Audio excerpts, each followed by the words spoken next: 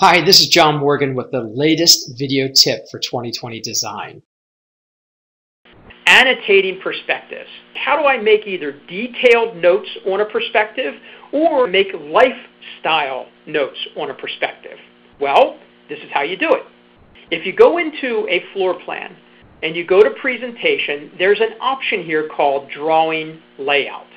Many of you use drawing layout when you want to show images and then you want to go in and show the tile that's going to be used or cutaways of moldings or, or maybe the cabinet style. If I right click in the workspace and I choose new tab, it gives me an option of paper and it divides it into sections. The very first template is a single page. I can just click OK. It brings up a single page I can right click on the plan and simply say, um, you know, bring in my name view. I can pick any view that I want. So let's just say we click on living space. I can click OK. I can go up to annotations and start making notes on it. I can go in and say, I want to add a note. We'll go ahead and we'll click on it. While my note is active, I can right click on it. I can go into its display settings.